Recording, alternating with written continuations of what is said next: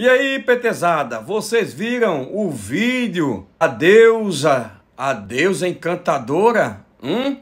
É, rapaz, ela fez um vídeo e eu vou te mostrar a fala dela por causa dele. O mito, o Biruliro. Ela disse, Bolsonaro, olha o salário mínimo, voltou a ter aumento real acima da inflação, acabando com o arroxo do seu desgoverno. A tabela do imposto de renda voltou a ser corrigida coisa que você nunca fez. Agora ela vai ser isenta de 13,7 milhões de cidadãos e cidadãs sobre a saúde que deu muita dor de cabeça a você, Bolsonaro e ao seu governo, né? Esse país, né, que você tirou mais de 25 mil médicos cubanos, agora voltou garantindo assim assistência para os brasileiros. Você abandonou não é? abandonou a cirurgia letiva, acabou com tudo. Mas agora o SUS voltou a andar e o governo vai aportar 600 milhões de reais para destinar a atender.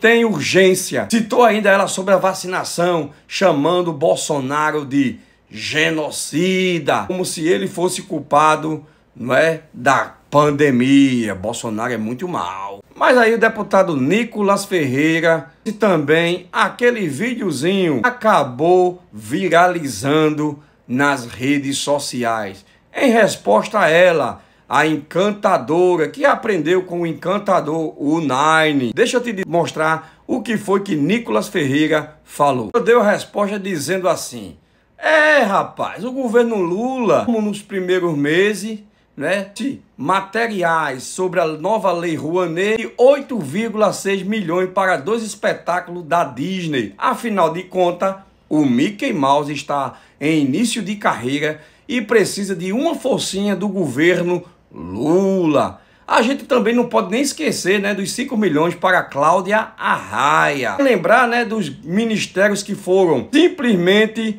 aumentados. E se você der uma coxadinha você vai ver aí os impostos, porque o que mais os governos petistas fazem é justamente isso: apertar o povo e aumentar os impostos. E o pobre é o que mais paga imposto nesse país. E depois, ó, faz o